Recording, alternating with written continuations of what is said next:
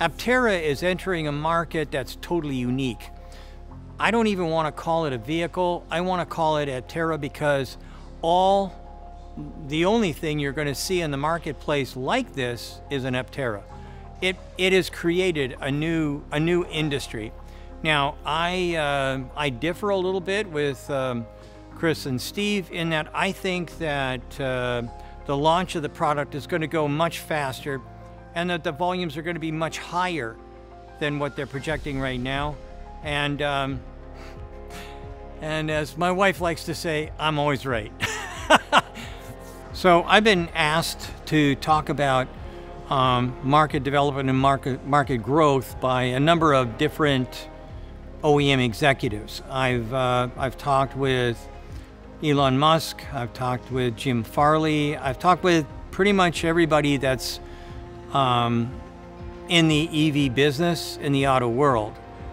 Uh, I have uh, expressed my view and said that by 2028, we'll be looking at a market that's 50 50. In other words, 50% of the cars manufactured and sold will be ICE, and 50% of those cars will be EVs, uh, BEVs. I think that I'm right.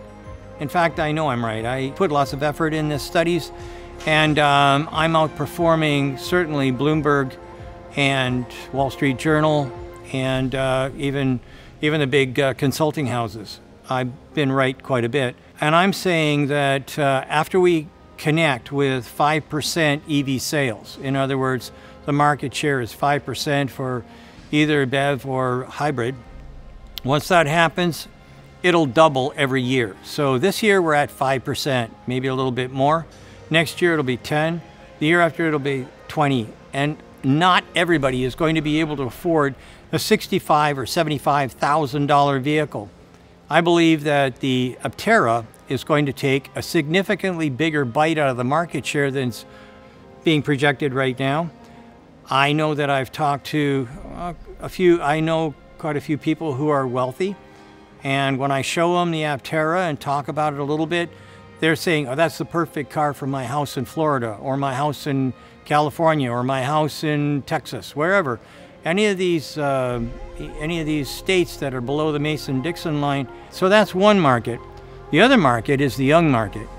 The 15-year-old is going to be looking for his first or her first car when they're about 20. And at 33,000, today's money 33,000 versus today's money 65,000 which one can they afford? Which one are they going to want? Which one is a smart kid going to want that doesn't cost him fuel doesn't cost him gas?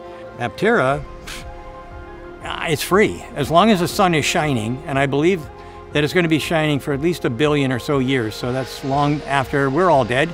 I think that it's the right move for anyone who's young and really and truly uh, wants to uh, live their life a little bit more fuller than uh, work, work, work, buy gasoline, work, work, work, work, buy gasoline, work, work, work, work, buy gasoline. I think that uh, that premise is going to be, uh, it'll be a, a footnote in history.